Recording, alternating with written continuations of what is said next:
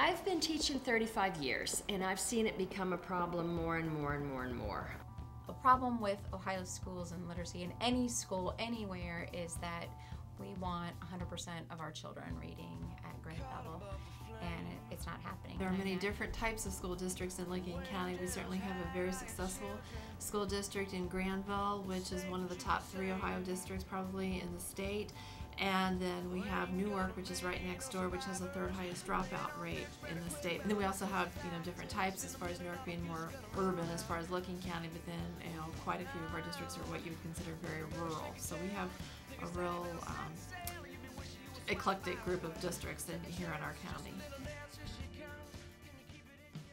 Um, as far as the reading issues go, we actually conducted a survey um, last spring, um, this office did, with 150 teachers in Licking County. And the number one reason that they felt that children were struggling in school as far as reading was um, lack of parental support and early awareness activities, meaning that kids are coming to school not having the early reading experiences that they once had. Parents aren't reading to children.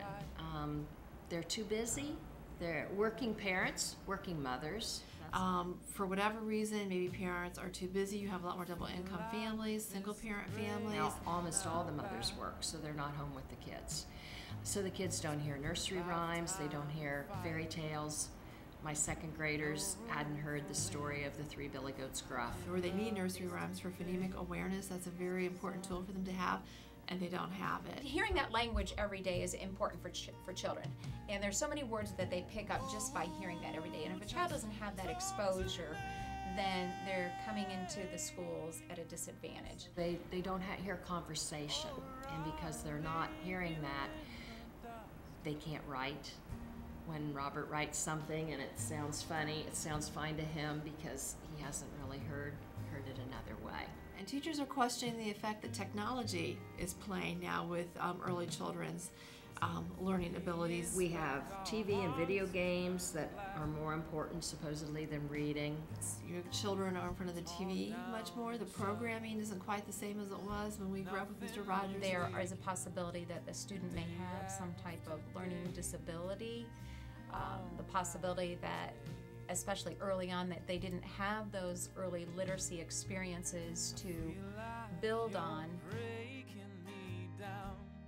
You know, grades K through 2, a child is learning to read, and then 3 through 5, they're reading to learn. Reading is everything. You spend the first few years of your education learning to read because everything else you do is reading to learn. Well, they affect everything the kid does. Um, primarily social studies and science. So if the child cannot read, once they hit third grade and they're doing more story problems with math and they have to read that science and social studies text, um, that creates a real issue if they can't read because then they just get further and further behind. The, the textbooks in social studies and science are hardly even used anymore because the kids can't read them. So teachers give lectures, but then they still have to give the test. And if the kid can't read the question on the test, then they're penalized. Then as you move on, the test taking, you know, the ability to read something at grade level for tests or so on. So reading is really important. Without reading, or if children are struggling in reading, you see it across the board. Even now. the the math questions on the on the third grade test require a lot of writing.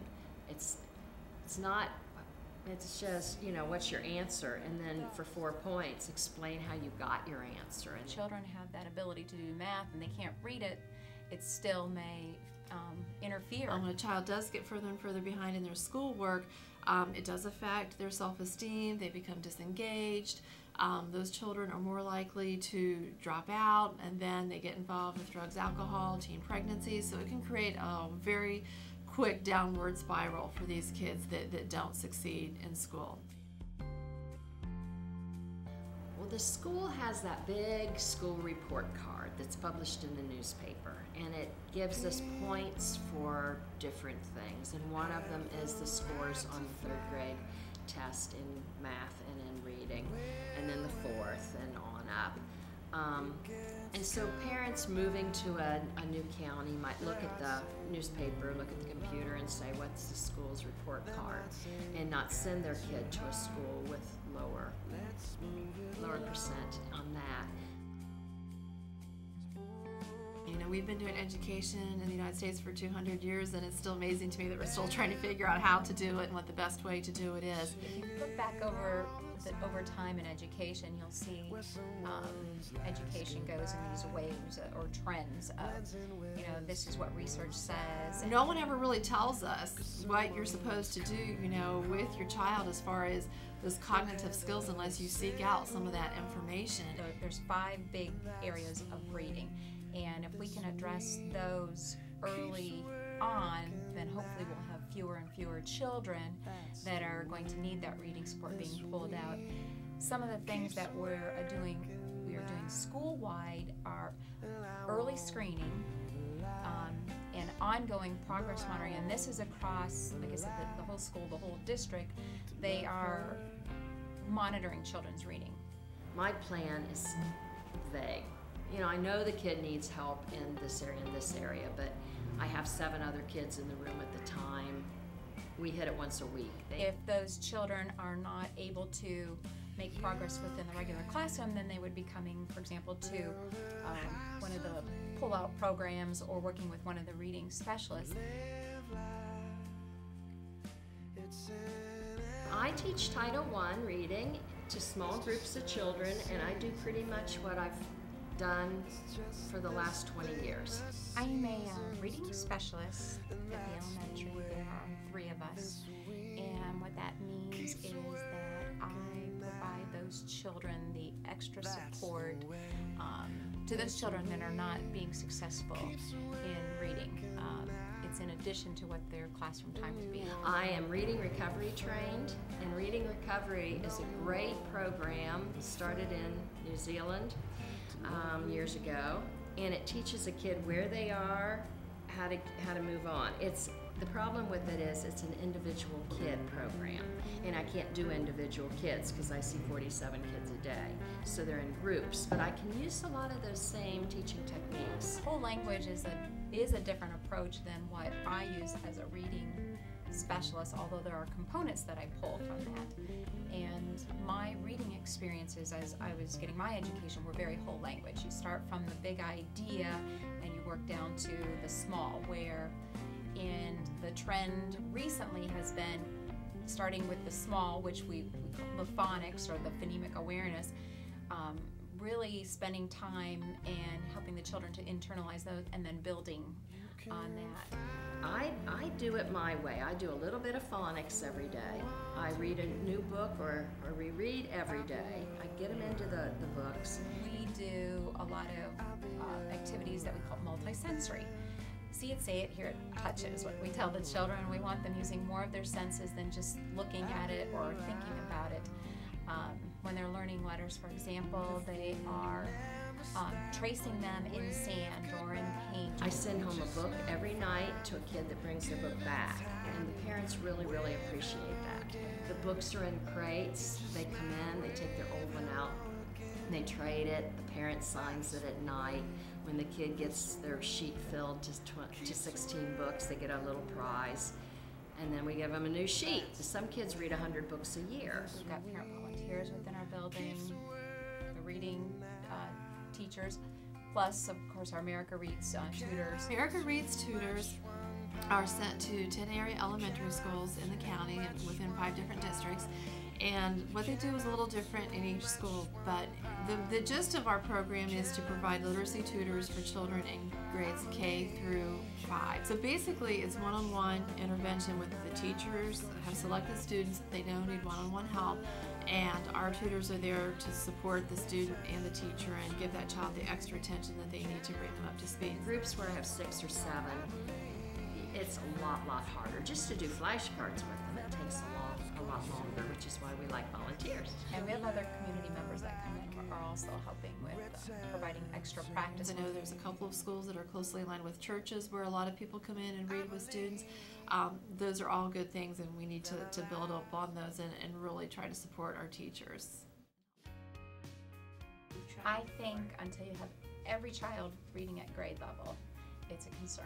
It seems like since we started this No Child Left Behind, we have no child left behind except the English as a second language and the special ed kids who were going to be left behind anyway. The problems Ohio schools are having are certainly meeting the standards that are put forth by No Child Left Behind and the standardized testing. So there's a great pressure on teachers and schools to, to meet these benchmarks, and some school districts are really struggling with meeting those standards. I think there should be less standardized testing, definitely. No kid should have to take a test that you know they can't take. And they always need to be investigating, um, you know, is it resources that we need financially? It, you know, typically it's, it, it ultimately comes back to money. parents to communicate, and I think it really needs to be a little bit more individualized, and and that gets harder. Hospital or um, before that child is born, that would be helpful, and then really um, making it comfortable for teachers and parents to communicate, and I think it really needs to be a little bit more individualized. We were supposed to have the same number of kids as a classroom teacher, which would be like 25 max. And I said, I've never heard such a thing, and I've been teaching in Title I since 75. And she said, Well, the laws have changed. And I said, Yeah, I know, but we haven't had a coordinator, anybody to tell us the laws. People are coming together in education and realizing that it is an issue across the county for everyone and maybe trying to to pull resources The ones whose parents follow up succeed better. read for 20 reading for 20 minutes at least a day to your child from the age from birth to age 8 is extremely important Does the child have a library card? Do they go to a library? Do they listen to story time? And if they don't practice at home, a child can do very well and understand what is taught to them, but if they don't have the opportunity to practice over and over, then they're not going to become fluent in, in their reading. you know it's a very tough time to, to be a teacher and i hear this from teachers all the time i think they really feel overwhelmed but i think so many of them are very passionate about what they do And I think that reading is important. It's a lifelong skill. But I still want kids to be able to, to sit and read a book and enjoy it because I I enjoy reading so much. It just takes me to a whole different world.